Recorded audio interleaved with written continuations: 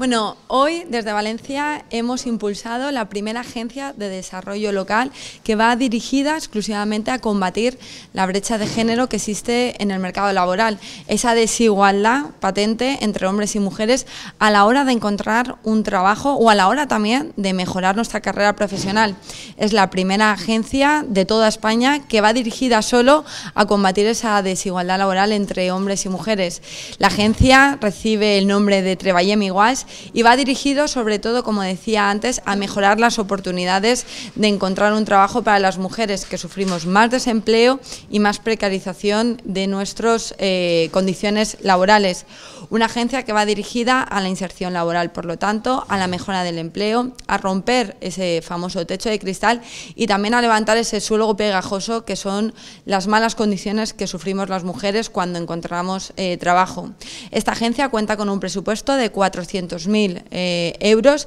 y queremos que al menos en este, en este año 2019, en este primer año de impulso, llegue al menos a más de 1.600 mujeres. Estas mujeres pueden encontrar esta atención en cualquiera de sus centros eh, de barris per la ocupación, en esos 13 centros que hemos impulsado a lo largo de esta legislatura y tan solo hay que estar inscrita en Valencia Activa y en el SERVEF para eh, poder acceder a este proyecto.